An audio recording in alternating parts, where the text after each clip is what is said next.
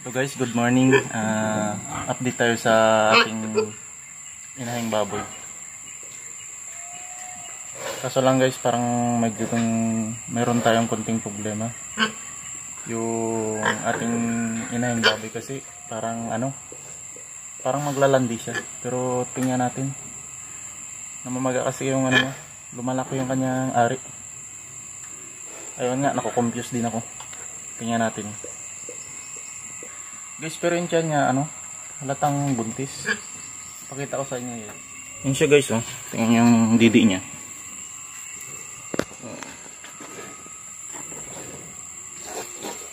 Mukha naman siyang buntis.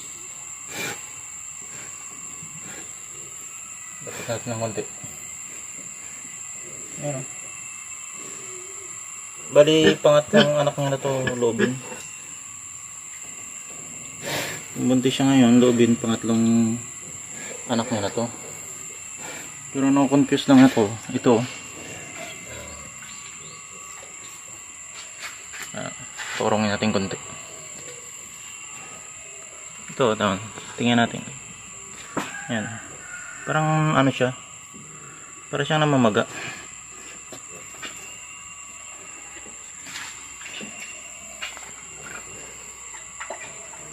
Dadalawang isip nga ako kung buntis ito eh. Kasi ito nga yung napasawa natin na ano, na maalala nyo sabi ko naglalagas siya. Sabi ko nga baka totoo yung sabi ng mga nakikita ko mga vlogger pag naglalagas hindi siya pwedeng pakastahan. Pero obserbahan ko pa rin to guys. Yung titingnan natin dito guys. Oh. Oh, kung tingnan natin dito. Yan. Siyang buntis. Yan o. Ano guys, sa tingin nyo? Sa tingin nyo guys, buntis. Comment lang kayo guys. Ito guys, tingnan naman natin yan sa kanyang likurang didi. Yan.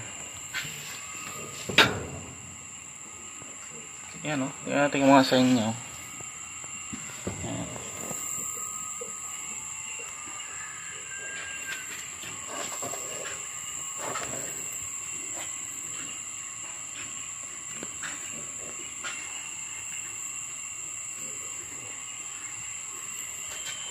Pero guys, tuturukan ko na lang to ng ano ng Sun SP. Ito guys yung ituturok natin sa kanya oh. Vitamin B complex plus liver extract Big Sun SP. Ayan guys oh. Ito yung ituturok ko kasi may nakalagay na to enhance uh, appetite tapos to improve embryo survival and milk quality in sow. In sow. Yan. Yan guys oh. Kasi nga baka na-stress lang tapos para kumapit ng gusto yung kanyang embryo. Yan. Tuturukan natin ng 5 ml yan.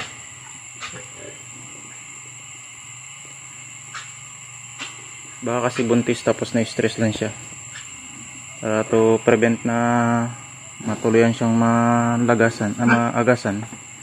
Turukan na natin kaagad ng B-complex. Big Sun SP okay guys. Okay yan guys. Meron na tayong 5ml na Big Sun tuturok na natin sa kanya. Hindi ko na pala mapakita sa inyo. Wala kasing hawak ng cellphone natin eh Okay, sige guys. Turukan ko muna. Ayan guys, tapos na natin siyang turukan. Medyo may natapon lang nga. Malik, mag, malikot talaga siya eh.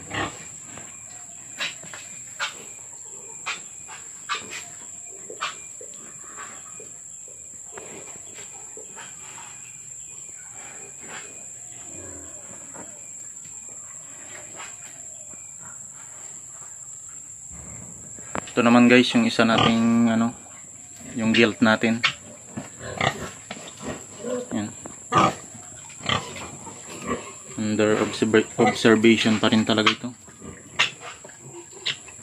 Ah, maigit ni sila isang buwan eh. obserbahan na lang natin kung tutuloy talaga yung pagbubuntis nila. Sana nga.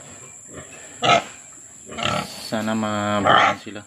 Kasi sayang din yung panahon na hindi sila mabuntis. Tapos papaasawa na naman ulit.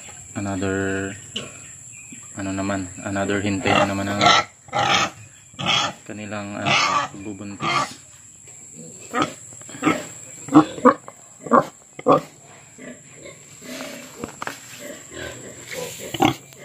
Yun.